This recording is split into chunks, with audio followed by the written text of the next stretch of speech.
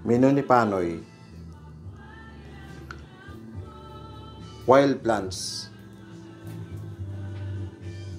Ano anong tawag sa ganitong dahon? Halaman? Pansit-pansitan. Pansit-pansitan daw ang style ng pagluto nito is uh, parang ano lang siya, yung parang kinilaw, iaano mo sa suka na may uh, sibuyas, bawang, Sabi ni kamatis. Maestro Elmer, gamot sa gout, uric acid, high blood, diabetes, at iba-iba pang sakit, cancer. Nakuha lang namin to sa mga tabi-tabing ano ah, lugar. Insilada. Insilada ito. Tumutubo na lang siya ng kusa. Ngayon, hindi siya napapansin na halaman. Ngayon, Pampulutan pala. Mas masarap pa sa pako. talagang pulutan ha. Ayun, ah, Masarap sa pako. Nagustuhan ni Padi Panoy.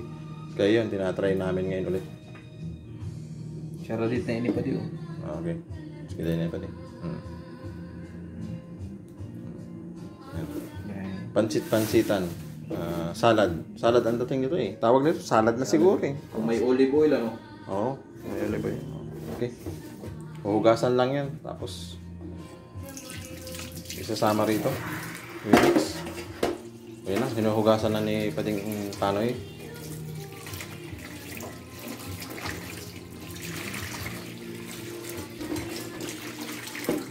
yun. Ayan.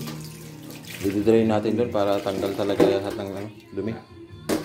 Lupa lang naman yan. Lupa-lupa at ano nung uh, pakatanim. Pansit-pansitan. Marami raw po itong benefits. Kung ano, painin nyo ito kasi maganda sa katawan. Natural. Yung mga sakit na ano natin sa katawan, matatanggal pag ah, kakain tayo nito. Pwedeng, pwedeng pampulutan nga, sabi ni Pading Panay, pwedeng, pwede rin sigurong iulam to, Padi. Mm. Ano ba, ano, pwede rin. Kung talagang ano, sa- samahan mo to ng tuyo. Solve na. Solve na ang pagkain. Hugasan lang masyado. Hmm, Buhangin. babuhangin.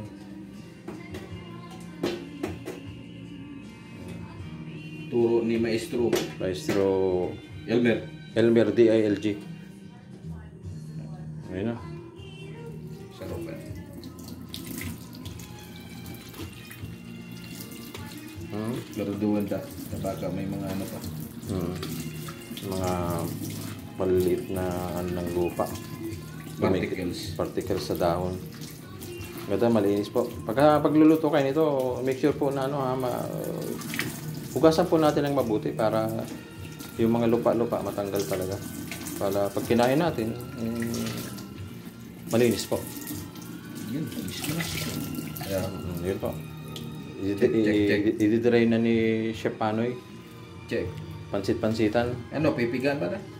Yun na, no? Hindi na pa din. Siguro ano lang, parang ano lang.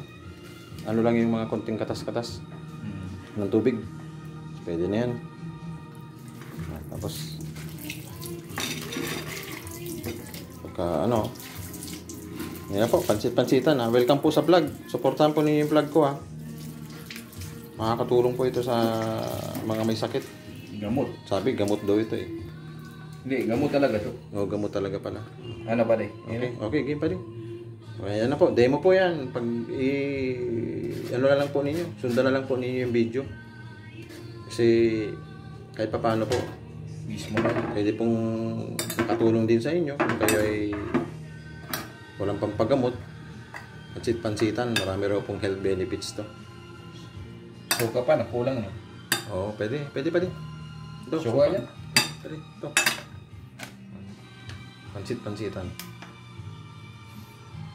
Pansit-pansitan. Mismo na yan. Simula. Ganyan.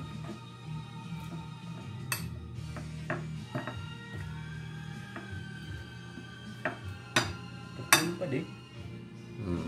Nagiinom ka na, binubulong. Mm. Kung mainom ka na ng alak, nagagamot ka pa pag nagpulutan ka nito. Okay. Suka, may asukal yan? Oh, meron na. Mm. Kung ano lang, pero pag may kulang pa, di, meron namang asukal, dagdagan natin. Okay po. Thank you po sa vlog, ano? Dennis Canuto vlog po. Suportahan na lang. Thank you.